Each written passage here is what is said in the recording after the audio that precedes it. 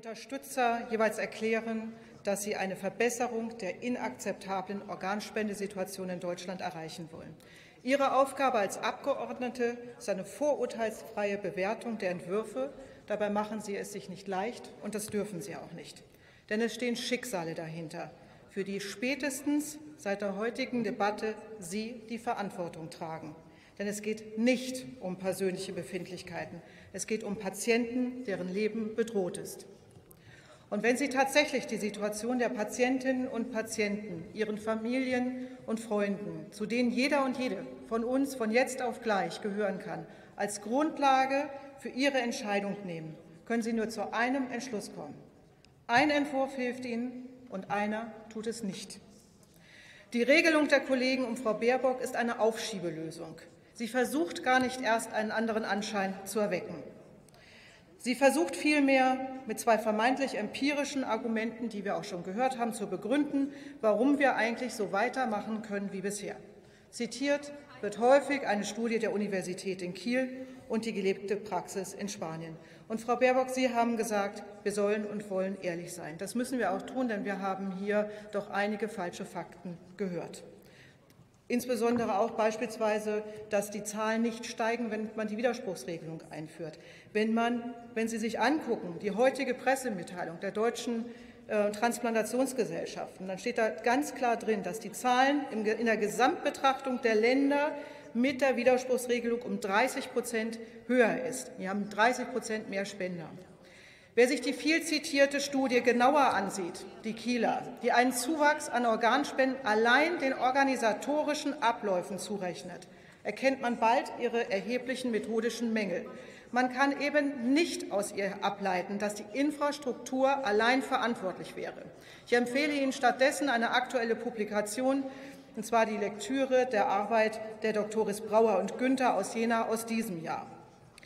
Und bezüglich unserem großen Vorbild Spanien, wo so viel mehr Menschen durch Transplantationen gerettet werden, wird fachlich behauptet, dass dort zwar de facto eine Widerspruchsregelung gilt, das haben wir gerade auch wieder gehört, sie aber überhaupt nicht gelebt werden würde. Was dabei stets ignoriert wird, ist, dass der Systemwechsel das Entscheidende ist. Ohne diesen Paradigmenwechsel hätte es nicht eine Organspende mehr gegeben. Denn es geht nicht nur um die gesetzliche Neuordnung, es geht um die gesamte kulturelle Ausrichtung, die dahinter steht. Und es ist ja nicht nur Spanien, das die Entscheidung für einen Systemwechsel bei der Organspende längst klug getroffen hat. Und es sind nicht 20, sondern es sind mittlerweile 22 von 28 EU-Mitgliedstaaten, die die Widerspruchsregelung implementiert haben. Zuletzt ist vor zwei Wochen Schottland dazugekommen. Im Eurotransplant-Verbund sind wir acht Länder. Davon haben sieben die Widerspruchsregelung. Und nun raten Sie mal, welche es nicht hat. Von Ihnen allen importieren wir Organe. Deutschland überlebt durch die Widerspruchsregelung der anderen Länder. Solidarität sieht anders aus. Wir, die wir uns seit Jahrzehnten nicht zu so einem Schritt durchringen konnten. Dass diese Länder sich nicht für eine Aufschieberegelung entschieden haben, sollte ihre Befürworter zum Nachdenken anregen. Denn wer tatsächlich davon ausgeht, dass die Abfrage der Organspendebereitschaft zwischen der Juckerpalme und der Wartenummer in einem Bürgeramt mit Ja oder Nein oder sogar auch mit Weiß nicht zu einer Erhöhung der Zahlen führt, der muss wirklich über eine äußerst große Fantasie verfügen. Wer wirklich denkt, dass die möglichen Spender zwischen Antrags- und Abholtermin mit einem Flyer in der Hand sich einen Termin machen bei ihrem Hausarzt, dessen Vorstellung von der arbeitenden Bevölkerung hat mit der Wirklichkeit wenig zu tun. Von den zeitlichen Möglichkeiten unserer Hausärzte mal ganz zu schweigen. Zu allem Übel wäre frühestens nach zehn Jahren eine Abfrage der Bevölkerung nahezu erreicht. Zehn Jahre, in denen alle Befragten weiterhin mit Ich weiß nicht antworten können. Liebe Kollegen, wer von uns, wer von Ihnen es tatsächlich als unzumutbar empfindet, den Menschen eine Entscheidung über den Verbleib ihrer eigenen Organe nach dem Tod abzuverlangen, dem muss sich unterstellen, dass er den Ernst der Lage nicht verstanden hat. Die Patienten, von denen derzeit 10.000 auf der Warteliste stehen und täglich drei sterben, halten von einer solchen Lösung jedenfalls nichts. Ich bitte Sie herzlich, persönlich mit Ihnen zu sprechen. Leider haben Sie, Frau Baerbock, entsprechende Anfragen bisher abgelehnt. Liebe Frau Kappert-Gonter, die Patienten sind sehr wohl im Fokus meines Tuns. Lernen Sie zum Beispiel, dort oben sitzt Herr Korusek kennen. Nach jahrelanger Dialyse kämpft sein Körper mit erheblichen Folgeschäden. An einen normalen Alltag oder eine Nacht durchschlafen ist für ihn nicht zu denken.